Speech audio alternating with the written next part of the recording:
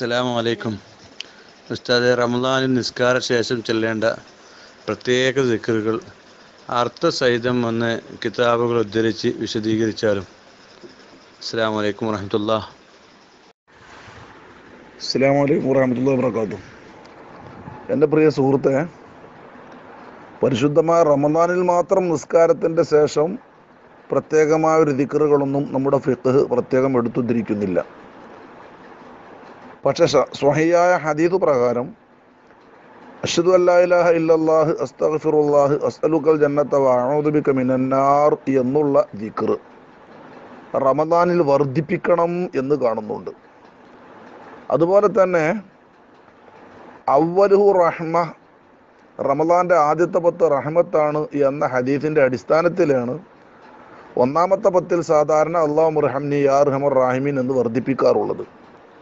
ഇത് നിസ്കാരത്തിന്റെ ശേഷം മാത്രം പ്രത്യേകതയല്ല. എപ്പോഴും വർദ്ധിപ്പിക്കേണ്ട ഒരു ദിക്കറാണ് നിസ്കാരത്തിന്റെ ശേഷമായാൽ നന്നു എന്ന് മാത്രം. അതുപോലെ തന്നെ ഹദീത്തിൽ ഔസത്തുഹു മഹ്ഫിറ റമലാന്റെ മധ്യഭാഗം പ്രത്യേക പാപമോചനമാണ് എന്നുള്ള ഹദീത്തിന്റെ അടിസ്ഥാനത്തിലാണ് അള്ളാഹു മഹ്ഫുർലി ദുനൂബി അറബൽ ആലമീൻ എന്ന് നടുവിലെ പത്തിൽ അധികം ചെല്ലുന്നത്.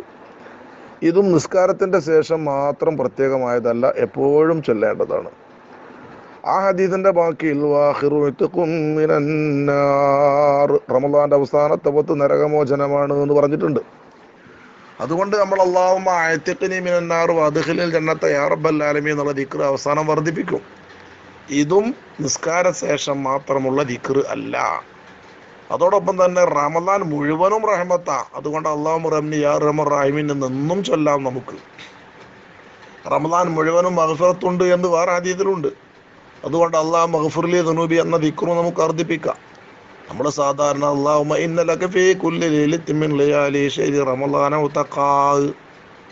റമളാൻ മുപ്പത് ദിവസങ്ങളിലും രാത്രികളിലും റബ്ബേ റമളാൻ മുപ്പതുകളിലും നരകമോചനവും നരകത്തെ തൊട്ട് മോചിപ്പിക്കുന്നവരുമുണ്ടല്ലോ എന്ന് പറഞ്ഞിട്ടുണ്ട്.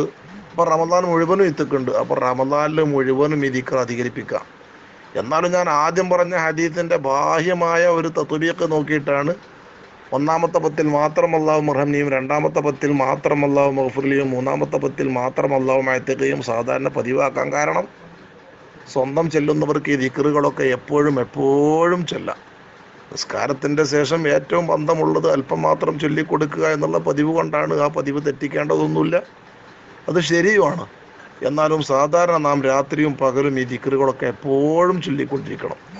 അതുപോലെ തന്നെ ലൈലത്തുൽ ഖദറിനെ കുറിച്ച് പറഞ്ഞിടത്ത് അതായാൽ എന്ത് വേണമെന്ന് ചോദിച്ചപ്പോൾ അള്ളാഹു മൈന്ന കാഫുവും തുഹിബുൽ ലഫ ഫാഫു അന്നി എന്ന് പറയാൻ സ്വഹിയ ഹദീസിലുണ്ട്. ഇതും പ്രത്യേകം ലൈലത്തുൽ ഖദറിന് മാത്രം പ്രത്യേകതല്ല നിസ്കാരത്തിന്റെ ശേഷം മാത്രം പ്രത്യേകമല്ല. ഈ ദിക്റുകളൊക്കെ റമദാനിൽ എപ്പോഴും എപ്പോഴും വർദ്ധിപ്പിക്കൽ നല്ലതാണ്. അള്ളാഹു മുർഹംനി യാ റഹമുറാഹിമീൻ നാഥനായ റബ്ബെ നിന്റെ റഹമത്ത് എനിക്ക് നീ വർദ്ധിത തോതിൽ നൽകണമേ എന്നാണ് അർത്ഥം.